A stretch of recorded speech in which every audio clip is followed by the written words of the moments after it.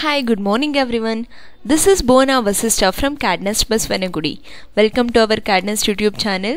Today, I am going to discuss about why confidence is important. Confidence makes you a better communicator.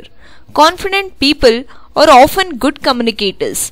They are not afraid to be direct when necessary and don't second guess themselves while they are talking.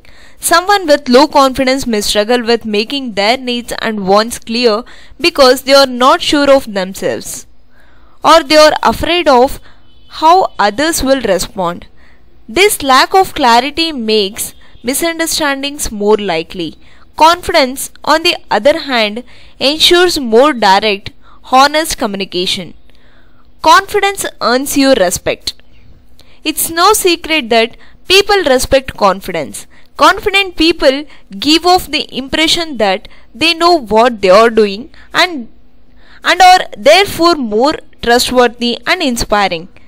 The world's best leaders in every field are all confident. Remember that confident does not mean arrogance. Confident people are also earn respect by listening to other perspectives, responding to criticism, and understanding their weaknesses.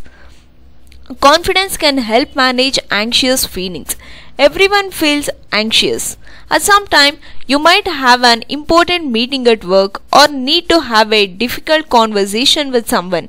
Confidence helps shield you from the nervous voice that says, You can't do this.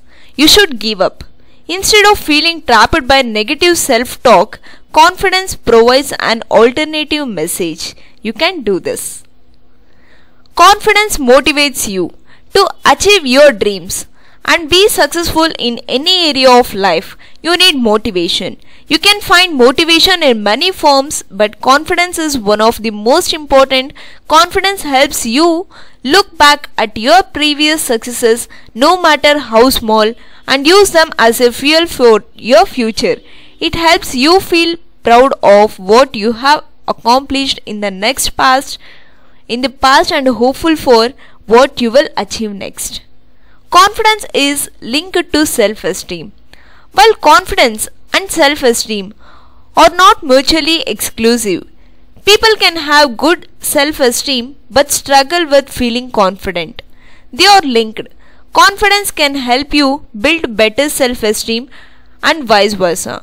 Knowing your value and what you bring to the table boosts your confidence while confidence grounds you in who you are and what you are capable of. So, with this, I am completing my session here.